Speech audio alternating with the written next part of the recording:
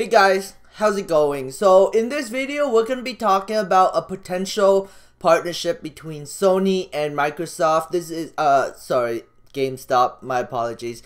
So GameStop could partner up with uh, Sony and Nintendo according to this Seeking Alpha article that I ran across. So there's also potential for GameStop to structure additional agreements giving credit to where it's due SA contributor Justin Dopey, I can't even say that last that's last name, stated that GameStop has potential to create strategic partnership with Nintendo and Sony. I think that this idea has legs to it. Although I do not share the same level of optimism on the timeline, he believes that GameStop has already engaged with the console owners and that a contract with Sony could be announced within the next six weeks. That is big news if that is a scenario. If this is true and not a rumor, and Sony does come out with a big uh with a deal with GameStop, uh, GameStop stock will explode.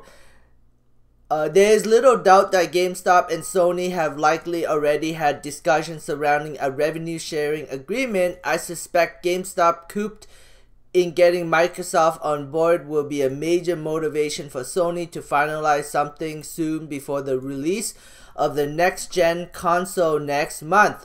Don't be surprised if we see another halt and news announcement from GameStop within the next 45 days regarding a, revenue sharing deal with Sony.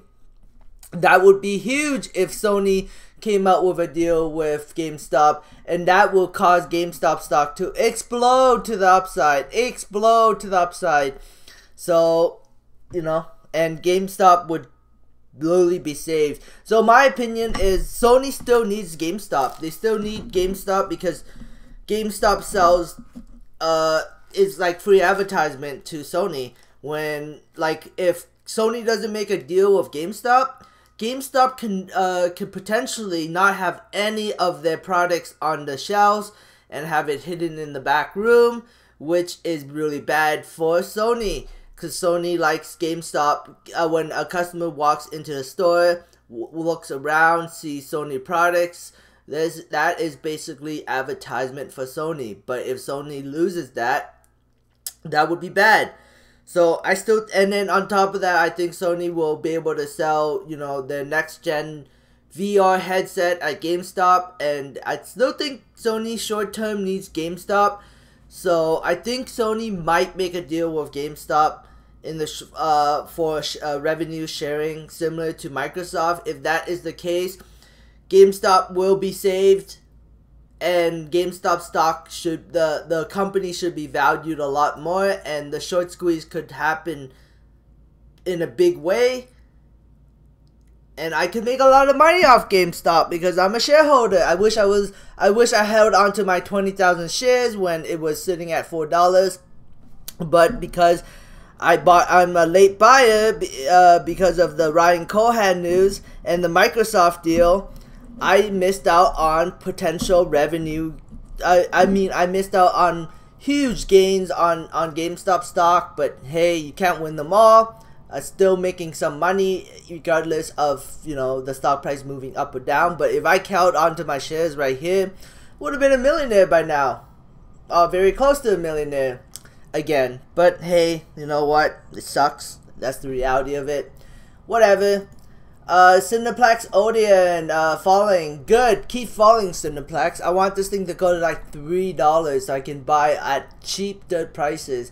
AMC is uh, falling back ever since I made a video about it.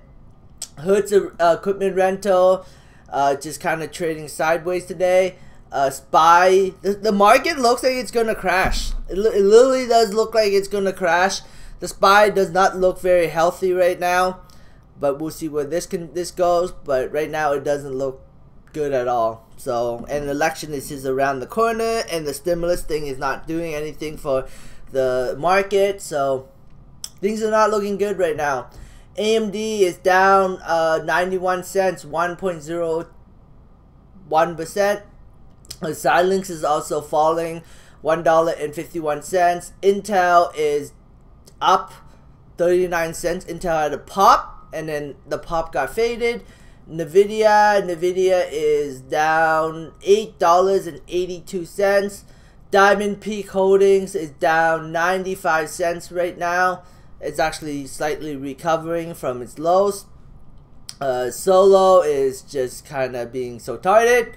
But hey, the market is also bad, and Solo doesn't want to seem to release any news regarding anything. So, know, it's a waiting game for this one. But uh, when news comes, maybe the stock will pop.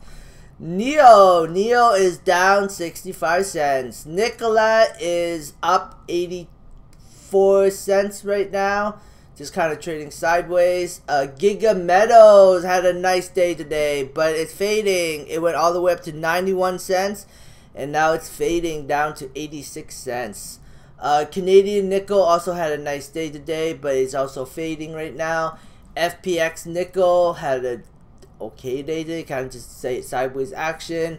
Talon Metal is starting to give a little bit back. Canopy Growth is up $1.44, 8.11%. Aurora is up 11.4% today. Uh, High Tide is just being retarded.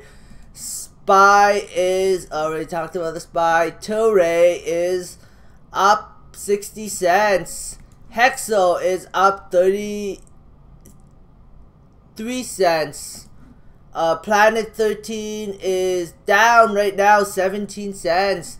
Liberty Health Science is uh, trading sideways. Beyond Meat is up a little bit, just kind of sideways action. Very Good Food Company is trading sideways.